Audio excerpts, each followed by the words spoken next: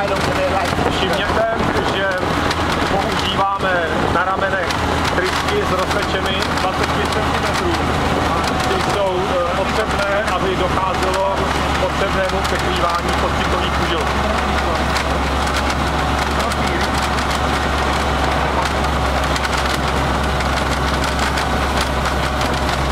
So, der Schlipper